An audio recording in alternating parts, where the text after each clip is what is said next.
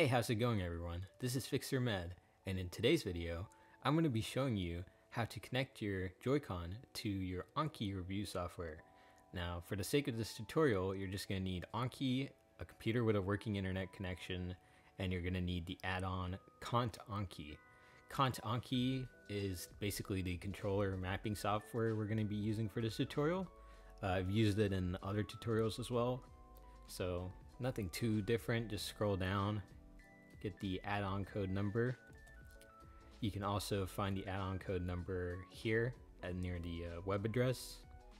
Open up your Anki, hit Tools, Add-ons, go ahead hit Get Add-ons, enter the code in, hit OK. Add-on is getting downloaded. Go ahead and restart your Anki.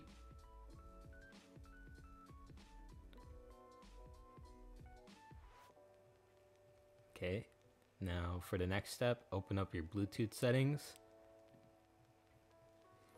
and hit the uh, sync button on your Joy-Con. The sync button can be found in the middle of the SL and SR keys on your Joy-Con. So it's in the middle, the part where you slide the Joy-Con into the switch. Just go ahead and hit the sync button. Hold it down for a few seconds until it pops up here. As you see it popped up. Go ahead and connect it. Alright, my Joy-Con's connected. I'm to go ahead and relaunch Anki.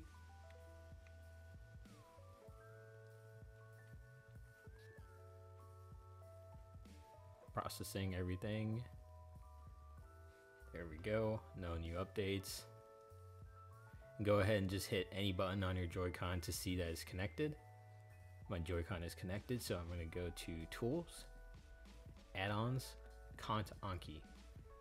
Now you're not actually able to um, open this software until you connect your controller to it. So the uh, UI for the mapping system doesn't open up until you have your controller connected fully. So when you do connect it via Bluetooth, uh, just hit A or something on your controller and it should say right Joy-Con connected.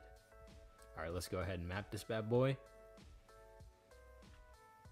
So nothing too much. Oh, and I want to mention that I have the G and comma buttons here as a custom actions. G is to for image occlusion enhanced is to reveal all the masks on those pictures. I've shown it on the image occlusion enhanced tutorial on how to do that.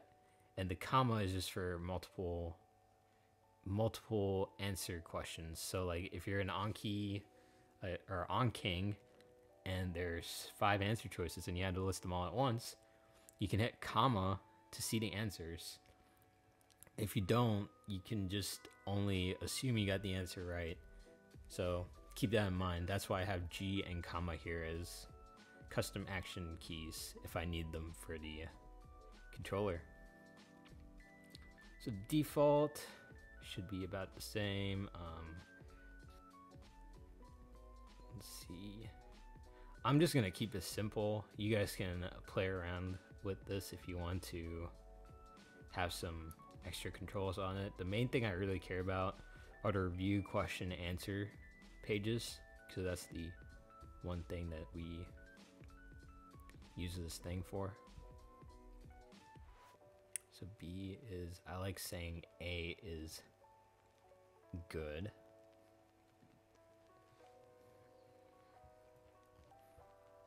B is again is a good one. I like having X as easy, Y as hard.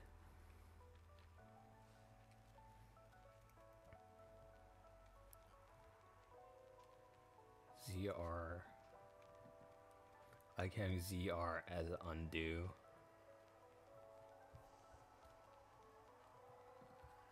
I like having R as redo.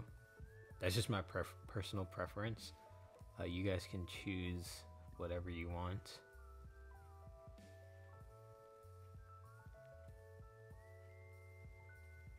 And there's SL and SR. I like leaving these as my G and comma. So SL for comma, SR for G. home button is to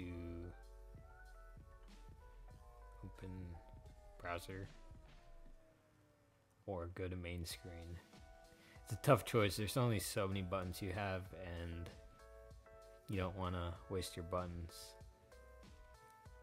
So these are the controls I like using at a minimum. And then you can have those on your review, question, etc. But for the sake of mapping it, this is the bare minimum you need to have to succeed in Anki reviews comfortably. Uh, you don't need it to be super fancy, but you can play around with the mapping system compared to the 8Bitdo mapping I had pre-installed. And yeah, I hope this tutorial helped you guys. If it did, be sure to leave a like and leave some helpful feedback in the comment section if you want. Um, as always, this is FixerMed signing off. I hope you guys have a great day. Take care, everyone. Goodbye.